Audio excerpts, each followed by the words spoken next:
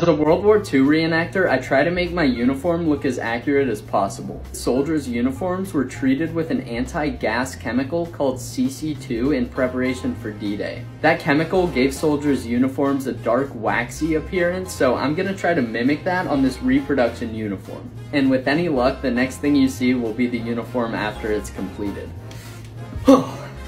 and this is what my uniform looks like after being treated with the mock CC2. Now if you couldn't tell by the change in the length of my hair between those two clips, it's been about three weeks since I recorded that.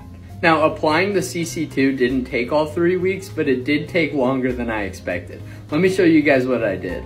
I achieved this look by rubbing Gulf Wax all over the uniform. Gulf Wax is just a type of paraffin wax, and then melting it in with a hair dryer. I'll be posting a more detailed video about that process soon. So here's the uniform now. As you can see, it's a lot darker in color than it was before, and it's got that kind of blotchy look that you see on the originals.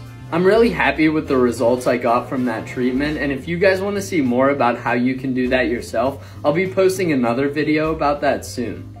I also want to give a huge shout out to the Smiley GI. I actually found out about this method by reading a post on his website, and after that I found out he has a TikTok page, so make sure to check him out as well.